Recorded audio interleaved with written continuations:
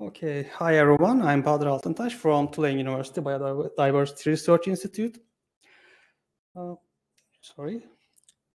And today I'm going to talk about the application of AI-helped classification of the fish images uh, by means of the iDigBio dataset, iDigBio example. So as an institution, we are the data provider for the Imageomics projects, which is focused on the audio um, computer vision and data extraction, extraction from these uh, images and videos, etc. Uh, our main aim is, our main role is uh, providing the fish images as an example. So at first, uh, to provide these fish images, we have to download these images from the different repositories like iDigBio, uh, GBIF, and Gillian, or some other museums. Uh, after downloading these images, we provide them to the machine learning guys. So when they check the files, they see that the images we provided are not included fish always. There are different images in these uh, repositories, but they are tagged as fish when we download it. So that's the main problem because we are downloading, we are providing the images, but they are not the images that we want. To get rid of this problem, uh, we try to uh, create a model which identifies the images and classify this, these images in different classes. So these classes are complete fish images, X-ray images, CT scan images, and or clear stained uh, images, labels, notes, partial fish, or photographs, fossils, etc. We have 10 uh, classes we defined. So other uh, things, for example, if uh, image has no fish, we are not interested in with them. We are just interested in those kind of things, especially for the complete images, complete fish images. Those are our classes that we are going to use. For this purpose, uh, by hiring the contractors, we or they uh, tagged almost uh, 90,000 images by their uh, classes. So we have 9,000 images, but only 45,000 of these are usable for us. Other 45,000 is that we are not interested in. Uh, for this purpose, we trained a model for every class. So it's a binary classification thing. So we create a model for the X-ray images. So if you apply the model, you, it can say this is X-ray image or non-X-ray image. So we have 10 models for 10 classes in hand. We use Python, PyTorch, and uh, CV2 for image processing. And basically, we use the faster RCNN pre-trained model to get the things faster because we need a faster uh, solution for that. Uh, for training sets, we use 150 to 3,000 images because every classes tag, tag classes have different uh, number of samples. For example, complete fish images has a lot of samples, but for the skeleton or for the fossils, we have less number of images tagged. So we uh, choose the proper number for each classes for training. So the training set and validating set and the test set is in these percentages. So what we basically do is after we training the model for every single classes, we apply this model for all the images we have. In this table uh, on the upper side, for example, we have an image tagged, at, uh, tagged as photographs. And we applied the X-ray model for this image set. And we get if there's an X-ray image there, or if our model can find the X-ray image from the photograph images. or the image text as, as photographs. And at first table, you can see the real class is, uh, sorry, in the first one, we applied the photograph model on the X-ray images, sorry. And you can see the real class is X-ray, and it's identified as non-photograph at the score. So it's not a photograph, it's an X-ray. So on, on, the other side, other uh, table, the first two is X-ray, but identified as non-X-ray when we apply the X-ray model on it. So sometimes, or uh, not all the X-ray images or the images tagged as X-ray is not identified as X-ray images by our model. So that was another problem with the image uh, dataset or image tagging. Because this handmade tagging is not always true.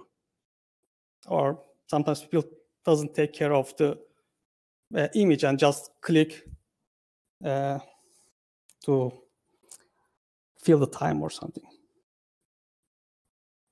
And I will give the uh, results of this work actually here.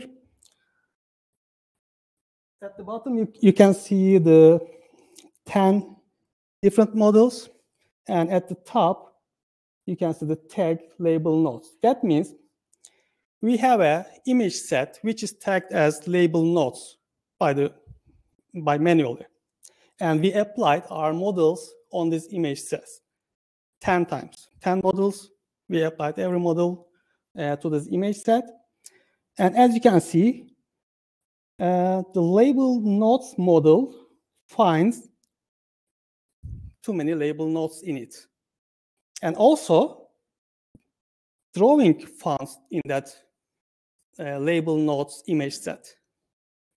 So maybe the labels are written by hand and drawings are, are also the drawings, hand drawings.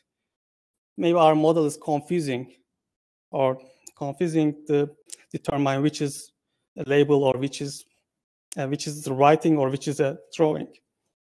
So in the other one, uh, for the photograph image, tagged as photograph image data set, we applied all of these models. And as you can see, okay, photograph model found the highest number of the images as a photograph.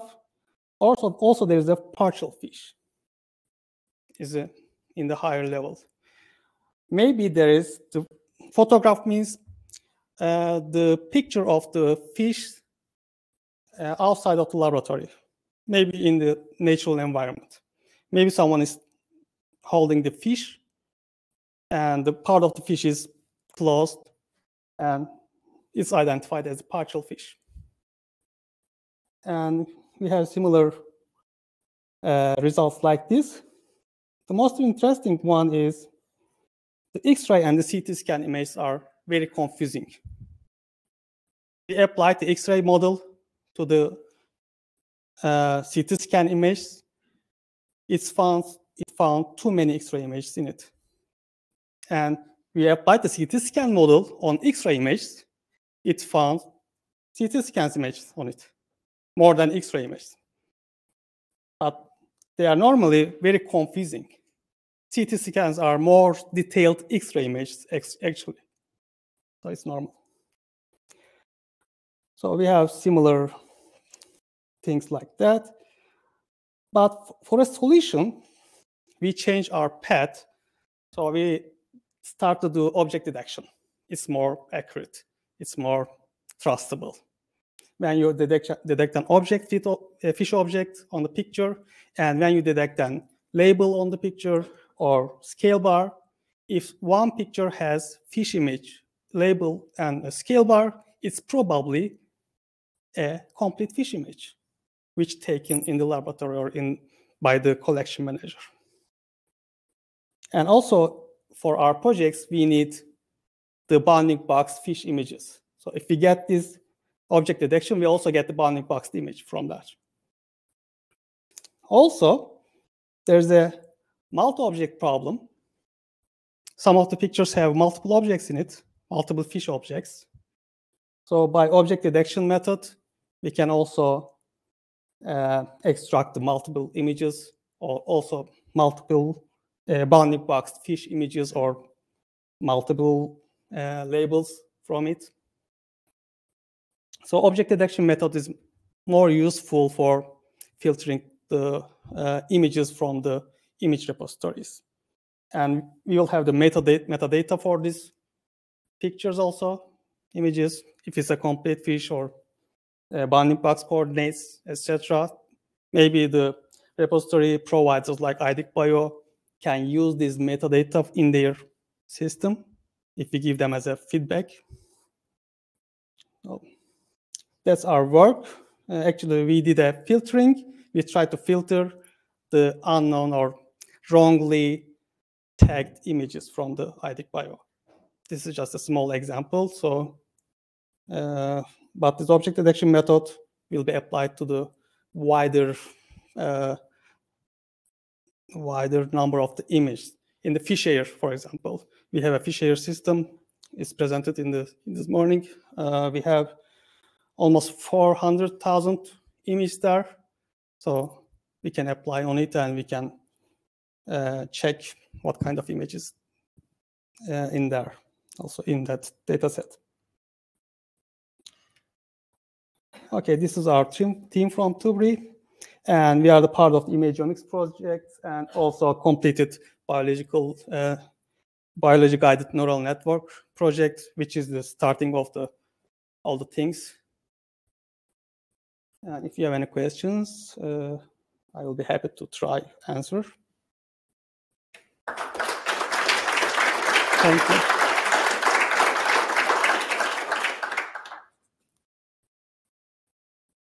Thank you very much for that talk. Thank you. Um, are there questions in the room? Okay, maybe we don't have time and we should. Okay. Yeah. Um, any questions? Then we will um, move on to the next speaker, um, and that is Colin Lin. Yay! I was hoping for another in person one.